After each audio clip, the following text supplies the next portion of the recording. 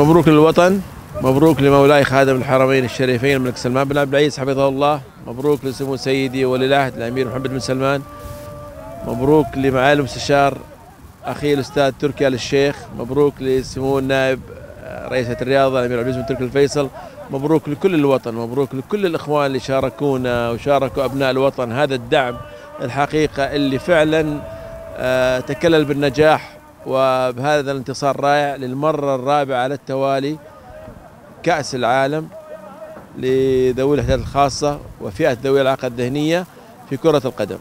الحقيقة أنا جيت متأخر آخر أسبوع ولكن حسب ما سمعت من إخواني أعضاء مجلس إدارة اللجنة البرلمبية أخي الأستاذ رافد القضيب رئيس تنفيذي وأخي عبد المحسن معيوف مدير المالي وأيضا المدرب القدير الدكتور عبد العزيز خالد ومساعدة أخوي فهد الردعان أنه فعلا الشباب حقيقة نموذج فعلا يعني متكامل في التزامهم في برنامجهم الإعدادي حقيقه في معسكرهم كان فعلا يعطيك آه، إيحاء وانطباع إنه الشباب فعلا جايين يمثلوا وطنهم افضل تمثيل ويقدموا حقيقة آه، إنجاز وهدفهم الكأس والعودة للوطن بهذا الكأس الذهبي الحمد لله والشكر لله. الدعم حقيقة لا محدود. اولا أشكر أخي معالي رئيس الاعلام الرياضي الشيخ تركي الشيخ آه، يعني أقسم بالله كان متواصل معنا يوميا باتصالاته وبتكليف الإخوان الوكلاء أخوي رجل الله السلمي وأخوي عبد الله دلاك والشباب كلهم. حقيقة يطمئن على الشباب وبلغنا بمكافآت في كل مباراة تأهلوا فيها مكافأة. أيضا تأهلوا للنهاية كان في مكافأة وبلغني أنه الأمس أنه في مكافأة مجزية بتحقيق الكأس.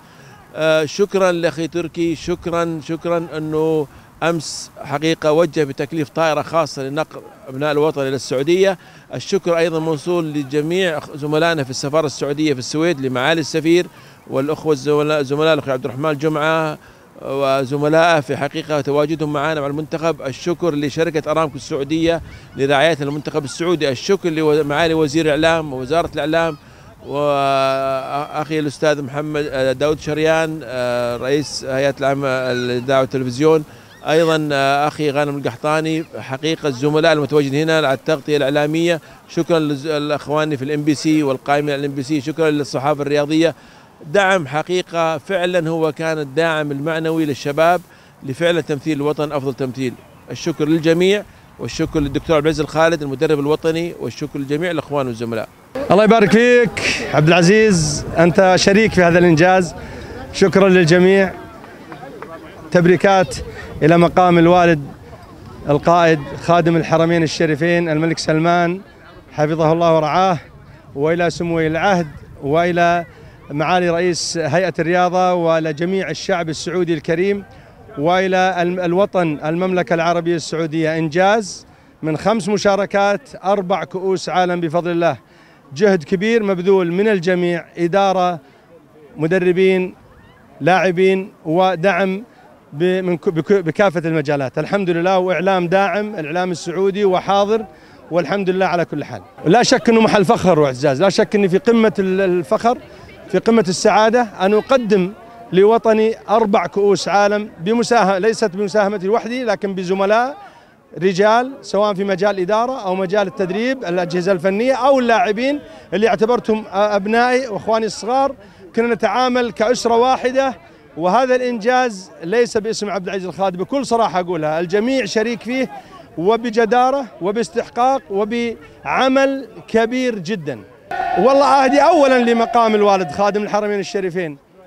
إنجاز كبير والوطن يستحق والوالد يستحق ثم لسمو العهده ثم للشعب السعودي الكريم ولكل من تابع وحب هذا المنتخب وتابع هذا المنتخب. تصلني رسائل كثيرة والمنتخب متابع ومقدر الجهد اللي يبذل والحمد لله إنه خيب الظن. مباراة رغم الخشونة رغم القوة رغم ربما تساهل الحكم بعض الشيء لكن المباراة كان فيها رجال وكان هناك تصميم حقيقي على أن الكاس يعود إلى الرياض.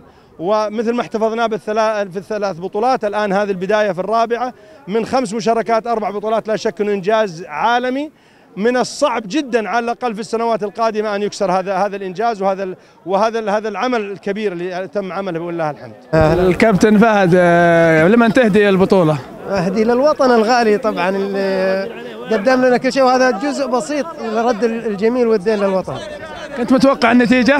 والله متفائل جدا ومتوقع أن نفوز بس بالنتيجة هذه كنا متوقع ان تكون آه ثلاثة لكن الحمد لله قدر الله ما شاء فعل. طيب كيف أداء الفريق اليوم؟ تمام ما يحتاج الشباب نفذوا كل ما طلب منهم آه نقول 95% من ال- ال- المطلوب. الله يعطيك العافية كابتن فهد. على كل حال. آه، لمن تهدي البطولة يا أبو عبد الله؟ أهدية طبعا أول شيء لمولاي خادم الحرمين الشريفين وولي عهده الأمين.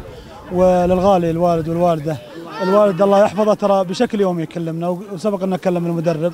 ولله الحمد. ألف ألف مبروك للشعب السعودي جميعا. الله يعطيك العافية. آه في شيء ثاني بس والله يمكن مو يمكن ما حد صراحة جهد جهد إعلامي إعلامي كبير من آه الأخوة ممثل في الإم بي سي مثلا في الأخ عبد العزيز. الله يعطيه العافية. ليست مجاملة ولكنها والله حقيقة. الأخوة في جميع القنوات الثانية والصحفيين. الله يعطيهم العافية. من أول البطولة وهم مشاركين في هذه البطولة صراحة. مبروك لسيدي خادم الحرمين الشريفين وسمو سيدي ولي العهد. دائما إحنا الشباب السعودي قدوتنا ولي العهد والشباب السعودي أنا وانت وجميع الشباب اللي قدوة ولي العهد دائما هدف عنان السماء. يا رب لك الحمد. بطولة العالم تحققت المرة الرابعة وإن شاء الله الخامسة والسادسة. يا رب لك الحمد. لمن تهدي البطولة؟ أهديها لسمو سيدي خادم الحرمين ولي العهد. والوالدة العزيزة وجميع الشعب السعودي. ألف ألف مليون تريليون مبروك. آه نبارك آه نهني أنفسنا ونهني ال- الحكومة الرشيدة ونهني الوطن بهذا الكاس. كنت متوقع النتيجة؟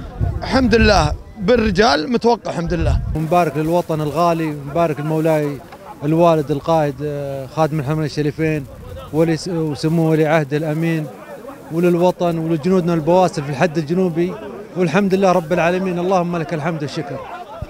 كيف أداء الحراس في البطولة؟ اللهم لك الحمد. من أحسن أحسن. واللهم لك الحمد. كلهم كانوا على قد المستوى.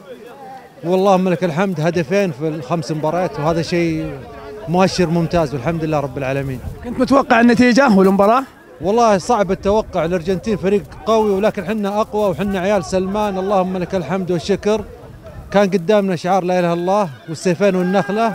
اللهم لك الحمد والله وفقنا والعيال ما قصروا. الحمد لله رب العالمين. آه، من تهدي البطولة؟ أول شيء اهديها لخادم الحرمين الشريفين الملك سلمان بن عبد العزيز حفظه الله ولي العهد الأمين وإلى الرئيس تركي آل الشيخ رئيس هيئة الرياضة وللشعب السعودي كافة. وللأهل وللوالده خاصة اللي طول وقتها تدعي وكل يوم تتصل علينا وتدعي لنا. وللشباب اللي ما قصروا طول فترة المعسكر طول فترة آه، سبع شهور وحنا ضاغطين عليهم يتحملونا والله يجزاهم خير. وهذا الشيء اللي سووه لنا يعني ما يعني أعجز عن تعبيره والله ما قصرنا. تعب تعب. ستة شهور أو سبع شهور. والناس دي والله ما قصرت. أخوي ناصر أخوي أحمد والله كلهم ما قصروا. اقسم بيد الله ما قصروا. بس الحمد لله نهدي الفوز هذا كله للسعودية. إن شاء الله إن شاء الله بكرة ولا بعد بكرة في المطار إن شاء الله نهديهم إياه وأتمنى الحضور أتمنى الحضور من جد من جد نتمنى الحضور. حيوا حيوا أبو ناصر حيوا حيوا أبو ناصر حيوا